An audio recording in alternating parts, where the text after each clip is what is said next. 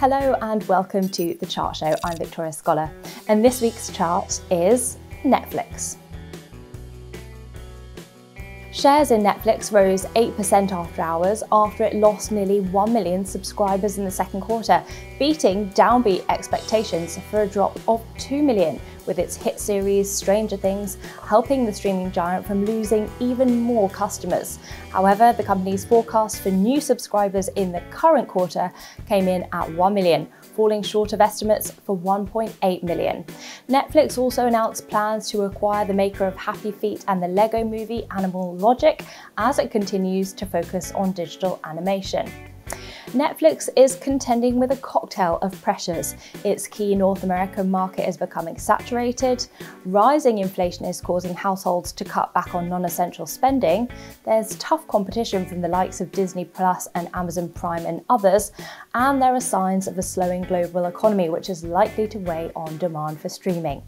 However, Netflix is being proactive, soothing investors with plans to introduce a cheaper service which plays adverts in early next year and it's also planning to crack down on password sharing. Post pandemic, the stay at home stocks have fallen massively out of favour. Plus, with the onslaught of competition, Netflix is inevitably losing its crown. The streaming giant somewhat naively raised its prices this year, expecting that subscribers would remain loyal. But with the cost of living crisis, clearly Netflix is much more price sensitive than it's thought, suggesting that it needs to be cautious around pricing going forward, given that it's deeply dependent on the consumer.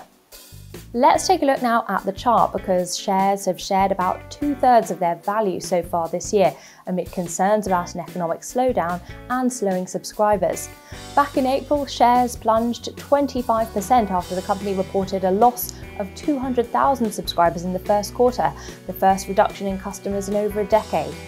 The after hours move on Tuesday night helped offset some of the recent weakness, but there's still a daunting uphill climb to reclaim the highs. On this five year chart, you can see the clear ascent to the peak in November of last year. Since then, the stock has slumped from around $700 to $200, which is the next key psychological support level to watch.